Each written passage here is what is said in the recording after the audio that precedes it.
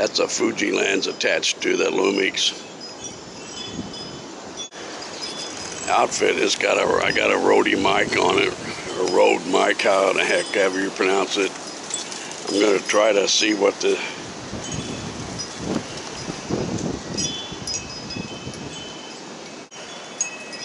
That's what it looks like.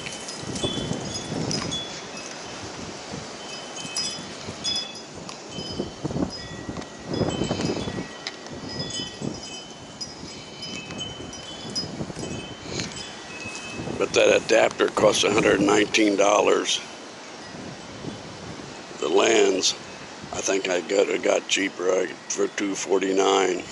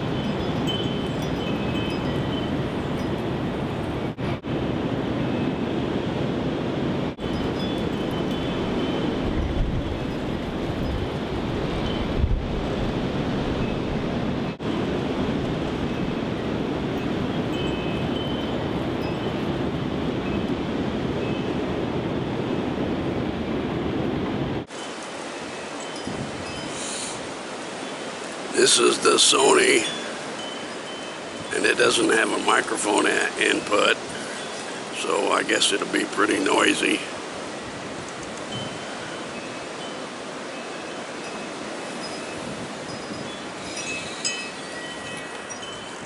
Here's the zoom.